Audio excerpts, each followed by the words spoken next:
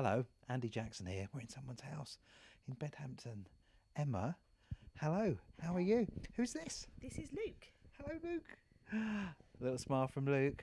And who is this? This is Riley. Riley. What have you made your mum do? We were sat in the car listening to the radio, uh, waiting to go to Breakfast Club, and the 1000 Faces came on, and this one decided to ask all about it. So we've always done the Christmas one where we've got extra presents and, and took it to your offices and, and everything.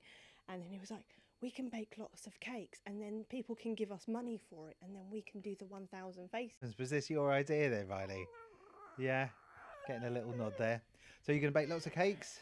Um, yes, so far we've already made one cake, a birthday cake, um, and someone has graciously donated. Um, and we've got an order in to do some more cakes. So, yeah, we will hopefully meet the target. Best of luck. This has been Time to Perfection. I'm going to cut my losses while the going's good. Thank you for signing up. Well done, Riley, for getting in there. Well done for staying so quiet as well. It's been very good, hasn't it? Thousand faces, still a few spots left.